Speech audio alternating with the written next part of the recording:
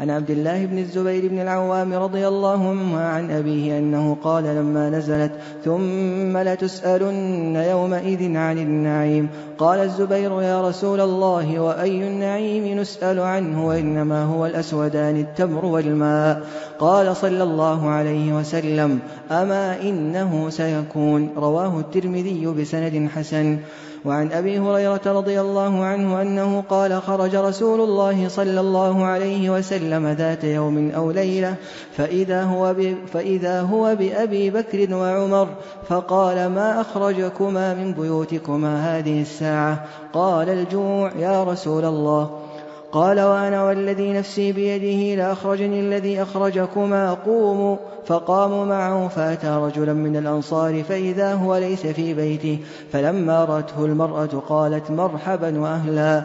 فقال له رسول الله صلى الله عليه وسلم أين فلان؟ قالت ذهب يستعذب لنا من الماء. إذ جاء الأنصاري فنظر إلى رسول الله صلى الله عليه وسلم وصاحبيه ثم قال الحمد لله. ما أحد اليوم أكرم ضيافا مني. قال فانطلق فجاءهم بعذق فيه بسر وتمر ورطب فقال كلوا من هذه وأخذ المدية.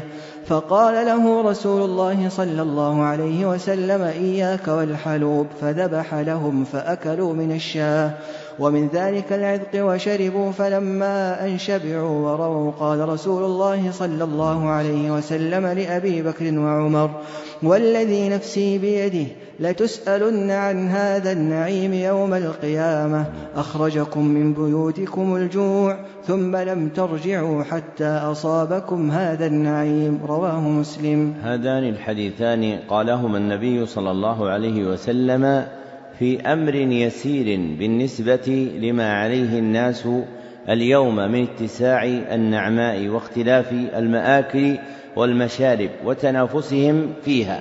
فمن تأمل هذين الحديثين حاضر القلب حمله ذلك على التقلل من الدنيا وعدم الرغبة في طلب الاستكثار من المطاعم والمشارب. فإذا كان العبد في تمر وماء وشيء يسير من النعماء. توعد بالسؤال عنه يوم القيامة فكيف بحال الناس اليوم؟ وهم يتلذذون بأنواع من المآكل والمشارب. وكيف حالهم؟ وهم يتفاخرون بنقل صورها وذكر أسمائها وتعدادها في وسائل التواصل الحديثة. ولعمري أي سؤال أعظم من سؤال هؤلاء؟ وهم يعرضون هذه النعماء فينسون شكر الله وينسون حظ الفقراء. والعاقل إذا أنعم الله سبحانه وتعالى عليه بنعمة تمتع بها على طريق شرعي. ومن مآخذ الأحكام في الحلال والحرام الحذر من كسر قلوب الفقراء. وهذا أمر ضاع بأخرة ولا سيما في جناب النساء.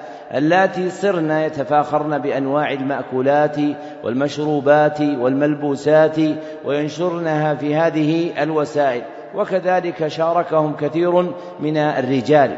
فينبغي أن يتذكر المرء وهو يستعرض هذه الصور أمام ناظريه أنه سيستعرضها سؤالا أمام الله يوم القيامة. فنسأله سبحانه وتعالى أن يرزقنا شكر نعمته وأن يجنبنا البطر بها.